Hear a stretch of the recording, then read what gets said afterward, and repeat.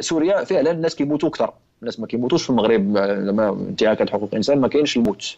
آه، ملي بديت أنا نخدم ما, ما سجلناش موت. يعني الحراك الحراك الريفي ما يمكنش نعتبره جريمة ضد الإنسانية لأنه ما كانش على نطاق واسع ولا ممكن؟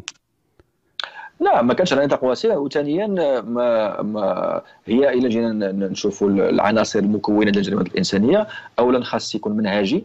وما كانش منهجي ملي كتشوف مصر كيديروا آه المنهج كيمشي بعيد يعني كاين واحد آه، سميناها بالانجليزيه assembly line of torture assembly line ما عرفت كيفاش نترجمها بحال في واحد l'usine كاين واحد التسلسل كاين واحد واحد واحد التسلسل منهجي. هو منهج. زعما اولا كيش كي كي كيختطفوك في الزنقة. وكيديروا لك أصبع على عينيك وكيديروك في الطوموبيل وكيهبطوا لك راسك تحت تحت الكراسة.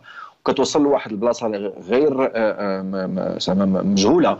وكتسمى مختفي لأن عائلتك ما عارفاكش فينك. البوليس ما كيقولوش أنك عندهم وكدوز واحد العدد ديال الوقت واحد العدد ديال الأيام وأنت حتى واحد ما عارف فينك. هذا كيتسمى الاختفاء القسري وكيبداو يعذبوا أولا كيبداو يضربوك وقبل كاع ما يسولوك على حتى شي حاجة كيضربوك وكيعلقوك في الحيط وكيعلقوا لك يديك في الحيط اللور وكيديروا لك الصاعق الكهربائي. وهذا الشيء كله بطريقة بحال واحد كاين واحد التسلسل ممنهج. هادشي ما كاينش في المغرب. كاينش في المغرب. اللي وقع للناس ديال الحراك هي انهم تقبطوا ومنين تقبطوا تضربوا في الكوميساريات.